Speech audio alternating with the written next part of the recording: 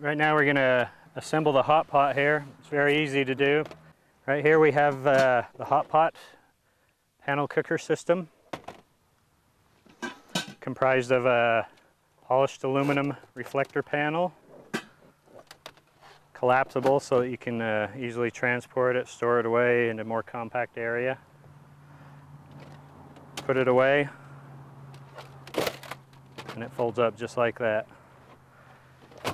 The other part of the panel reflector, the hot pot, is the glass enclosure. It's got a tempered glass lid, an enamel covered steel pot and the bottom half of the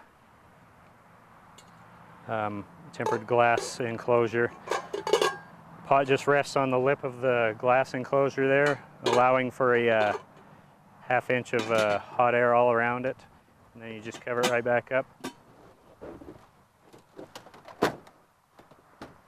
Your pot out. And then you set your pot with your food right there in the middle and orient it towards the sun. Um, orient it just as often as you need to. But as far as putting it back, closing it down, that's how your panel closes up right there. It's very easy. Just grab on the sides there.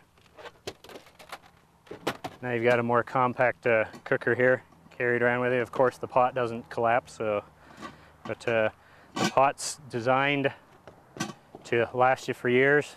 If you take care of it, 15, 20 years of use out of it. The panels are made out of uh, brushed aluminum, or polished aluminum rather. And the pot is made out of uh, enameled steel.